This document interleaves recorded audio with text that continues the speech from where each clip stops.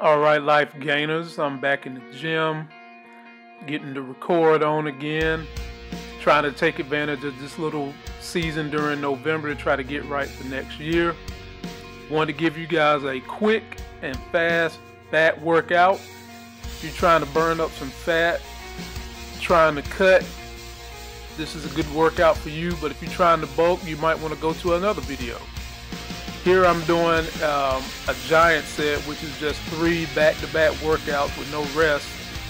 I did some close grip pull-ups, then I'm going to some pullovers standing, and then next I'm going to be doing exercise that I learned from my boy Jose Fortuna, which is kind of like a little standing row, just trying to get myself warmed up to get on through the next sets. But guys, do this with intensity Make sure you're pumping the muscle, not pumping for reps.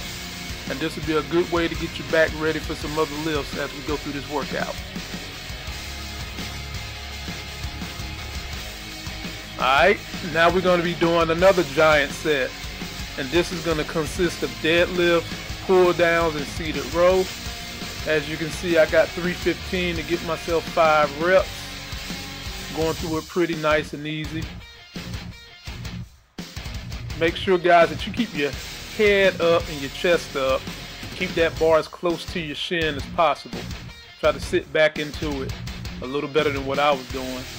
Then go straight over here to pull down. I'm doing them behind the head this time.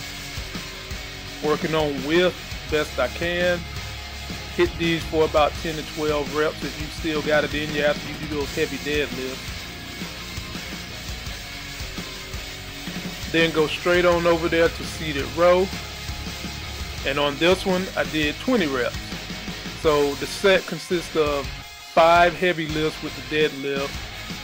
Um, then you got a moderate rep scheme from 10 to 12 with the pull down. Then you got your little super hypertrophy here with 20 rows.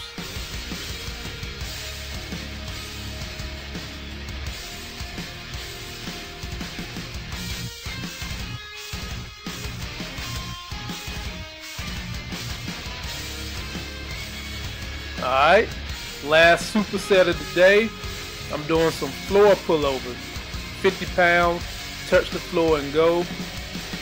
And guys, it don't take long to get a good, intense bad workout. I think I spent maybe 30 minutes in the gym doing this. If you're cutting, you want to keep your rest short as possible anyway.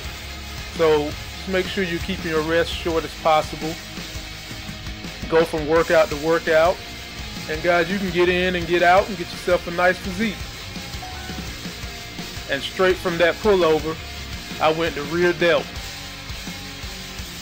My cover picture for this exercise is showing uh, my rear delts going down into my upper back. And a lot of that comes from this type of workout, guys. Don't forget to like the video, comment, subscribe, go out there and get yourself a life gain, and share the video.